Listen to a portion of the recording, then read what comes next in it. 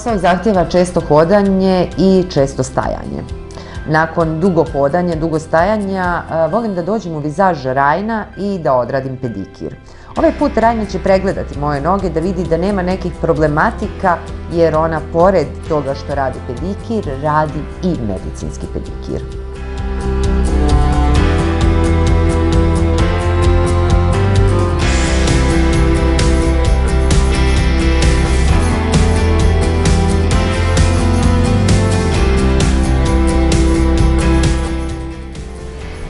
Vesna je danas bila na pedikiru. Srećom, ona nema problematiku, ali ja ću par riječi reći o problematičnim stopalima, odnosno o problematici koja se javlja na istim. Najčešće su to kurije oči i urasli nokti.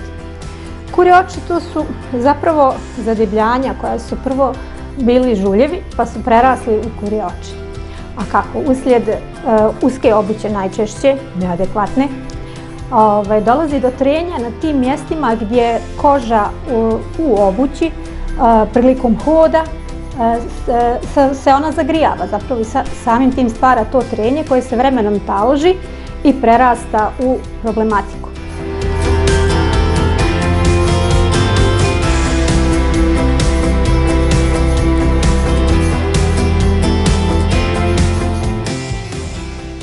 Kada govorimo isto o problematici, jako interesantno da e, sva ta deformiteti na stopalima može da prouzrokuju i problemi sa kičmom. E, uslijed nepravilnog hoda koji mi u suštini kompenzujemo bol u jednoj nozi pa e, opterećenje prelazi na drugo stopalo ili nogu, samim tim to može doći do problematike na, na stopalu i da se stvaraju kurje oči između prstiju, na krajevima stopala, na tabanu, najčešće na, malom prstu, također između palca i, drugog prsta između najčešće, jer isto uslijed genetskog, genetske predispozicije dolazi do krivljenja kosti i uvlačenja samog palčića ispod gdje u obući dolazi do ovaj, tog trenja i nepravilnog, nepravilnog položaja samih prstiju.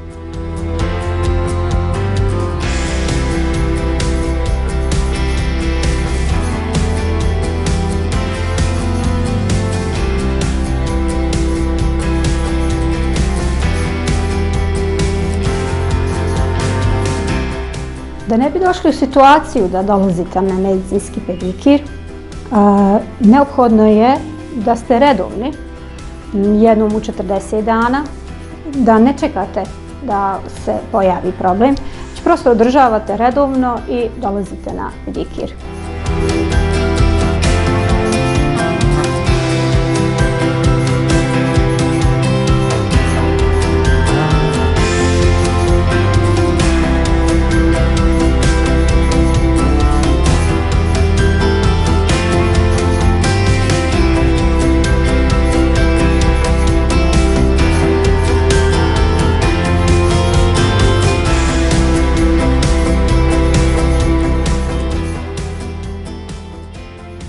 Kao što vidite u kadrovima, ja sam zaista uživala u ovom pedikiru i srećna sam što nema e, problema za medicinski, ali kao što je i Rajna sama rekla, e, redovnim pedikirom sprečavate pojavu problema na stopalima i izbjegavate medicinski pedikir.